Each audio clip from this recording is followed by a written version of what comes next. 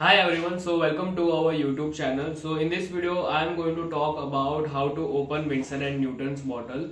This video is only for beginners who have just started out with their art career and they are trying Winsor and Newton's medium for the first time. So the main reason behind making this video is because I have seen a lot of artists struggling to open this child safe lock cap so how much ever time you rotate the cap or uh, you put pressure on it or whatever you do it is not going to open uh, without the right technique. So i'm going to show you how to open this cap with the right technique so it becomes very easy for you to open it.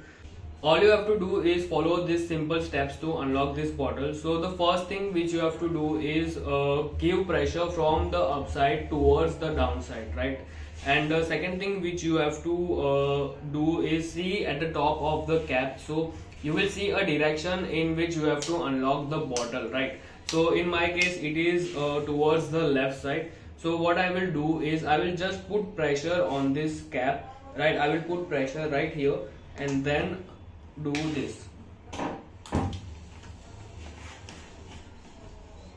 And that's how you open the bottle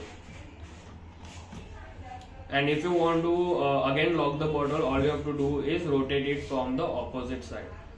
So that's how you unlock Winsor and Newton's bottle